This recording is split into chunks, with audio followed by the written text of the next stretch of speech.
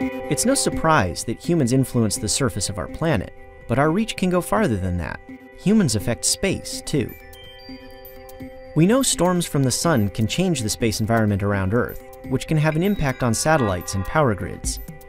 Scientists now know that Cold War era tests in the 1950s caused similar effects. Particles around Earth are organized into layers known as radiation belts. The tests created temporary extra radiation closer to Earth. Other effects could be seen all around the world. Aurora appeared at the equator instead of the poles.